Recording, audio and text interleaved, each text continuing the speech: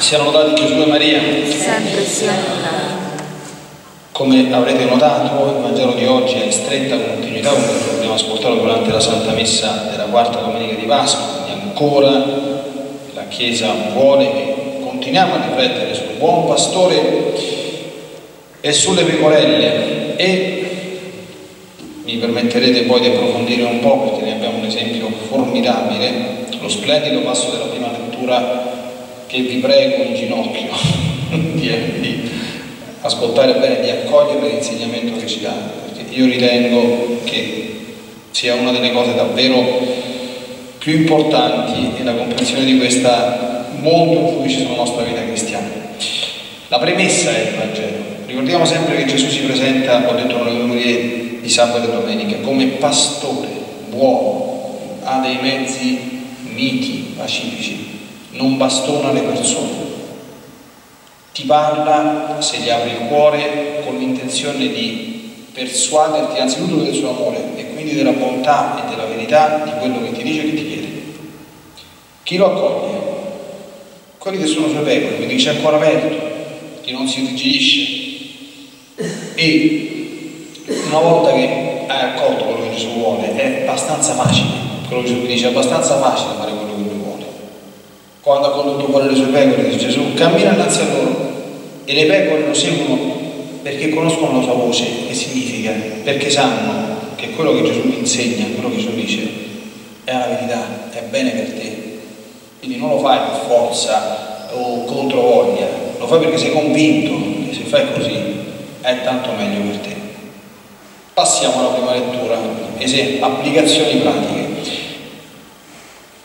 Contestualizziamo l'episodio. San Pietro ha una visione, in quella visione, tutti quanti quelle cose, che qual è il contenuto? C'era tanto una serie di cibi che per gli ebrei non si possono toccare in base alle prescrizioni dell'Antico Testamento.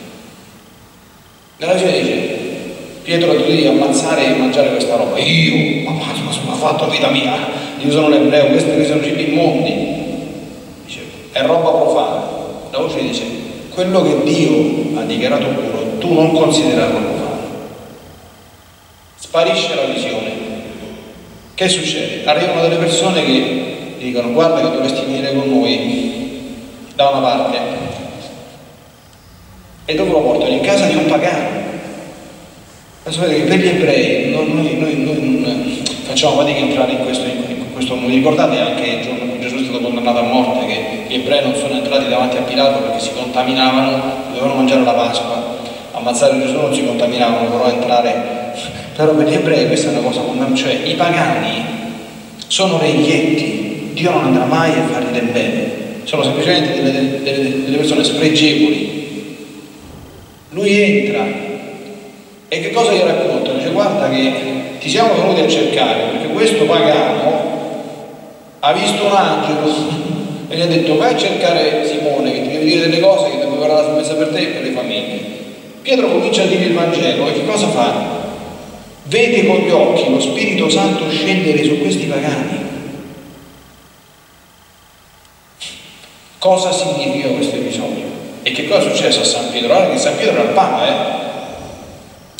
San Pietro che era il Papa, essere il Papa, con tutto il rispetto per i papi, non significa essere il Padre Eterno, cioè tu non sfuggi alle regole della vita umana per cui la tua vita è in crescita costante e continua, non sei possessore subito di tutta la verità, ti porti dietro delle idee che sono frutto della tua vita, della tua cultura, che possono essere sbagliate, anche gravemente sbagliate come queste. Dio cosa fa? Non ti prende a bastonate, fa in modo, se tu non hai il cuore chiuso, che tu possa correggerti. Bene, qui smonta diverse cose, prima il sogno, poi la visione, poi tre uomini, poi l'angelo mandato a quell'altro, poi il miracolo dello Spirito Santo. E come finisce il passo della scrittura? Perché tutti saranno arrabbiati e dicono, ma che sei il Papa sei andato a mangiare, sei andato, sei in casa di un pagano, ma che esempio dai? Scandalo! E Pietro dice, aspettate che ora racconto perché sono entrato, gli racconta tutta la storia. All'udire questo anche gli altri che erano ebrei come lui si calmarono e cominciarono a dire, dunque anche ai pagani Dio ha concesso che si convertano perché abbiano la vita, hanno capito? avevano delle idee sbagliate. Il nostro Signore, con calma, ha cercato di smontarle. Allora, statemi a sentire, vi prego. Io ho 47 anni e combatto questa cosa tutti i giorni. Allora, io sono sicuro che anche oggi mi porto dietro delle idee sbagliate, di cui non sono consapevole che sono tali, perché quando noi pensiamo qualcosa, quando noi abbiamo un'idea, è chiaro che noi pensiamo che sia giusta, altrimenti non ci avremmo quell'idea. Non è peccato pensare che le nostre idee siano giuste di per sé stesso, però è peccato esserne talmente convinti che se dovessero essere sbagliati nessuno li può smontare. Quindi l'ostinazione, la testardaggine è non essere pronti a aprirci. Perché il nostro Signore sicuramente ce n'ha tante idee sbagliate da smontarci. Se tu non ti apri, il nostro Signore non ti fa violenza, ti lascia con le tue idee sbagliate. Ma quali sono gli effetti che producono le idee sbagliate? Quali sono? Sono negativi.